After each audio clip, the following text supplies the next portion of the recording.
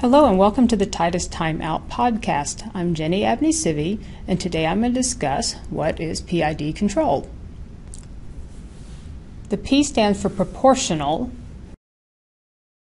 the I stands for integral, and the D stands for derivative. So P is proportional control, PI is proportional plus integral, and PID stands for proportional plus integral and derivative. And they literally stand for that the proportion, the integral, and the derivative of the error, which in the case of VAV boxes is how far you are away from set point. I'm going to discuss PID as it relates to VAV box control. You can find a lot of online resources that go into a lot more detail and a lot more math if you need more information. So let's start with proportional. In proportional control, the controller looks at how far away from set point you are. Proportional controls typically have a 2 degree reset span. So if the set point is 72 degrees, but the room temperature is 71,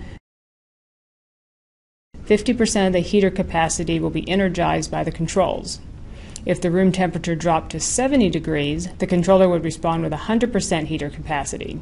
How much the heater is energized is proportional to how far away from set point you are. Proportional control is used by pneumatic, electric, and analog electronic control products. Let's make a little room up here. Okay, so proportional control looks something like this, where time is going this way and your set point is this line. Over time, the controller is going to drive to meet set point, but it's going to overshoot set point because it's only looking at how far away you are from set point at any given time. So now let's move to integral control. Integral control looks at how long you've been off of set point. Integral control requires a microprocessor, so you'll only see this in digital or DDC controls. The longer you've been away from set point, the higher the controller response.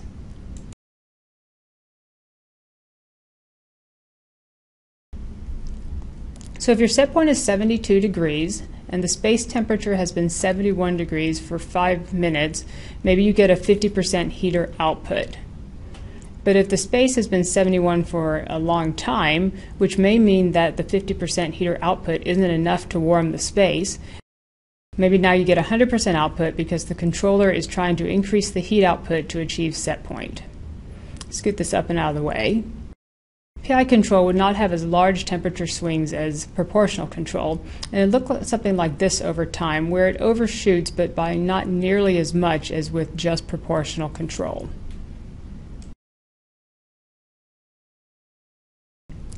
Now, derivative control looks at how quickly you are approaching the set point. Again, you need to have a microprocessor, so derivative control is only available on digital controls. The derivative component is looking at the rate of change of room temperature. So again, if your set point is 72 degrees and your space is 70 degrees, but it was 68 degrees a couple minutes ago, the controller knows you're approaching set point quickly and changes the heater output so that it doesn't overshoot the set point.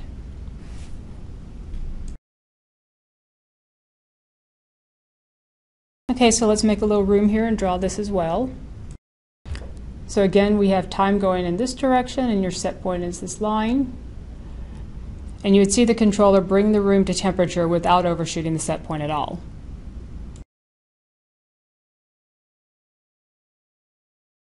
So let's summarize. Proportional control over time will try to control set point, but it will cause overheating and overcooling as it overshoots.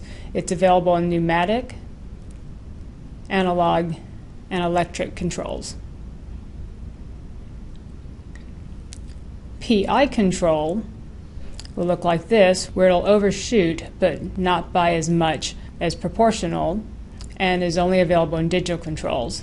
And PID controls will control the system and not overshoot, and is also only available in digital controls.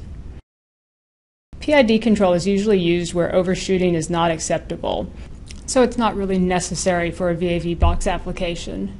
PI control is good enough for most VAV box applications, and that's what we usually see. So that's a quick explanation of PID controls. Don't forget to subscribe to our YouTube channel, and thanks for taking a time out with us.